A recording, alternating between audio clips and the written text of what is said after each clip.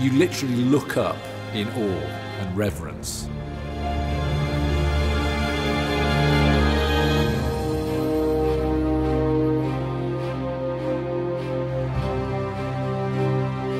Leonardo pushes at the idea of realism in ways that have never been achieved in Western art to this point.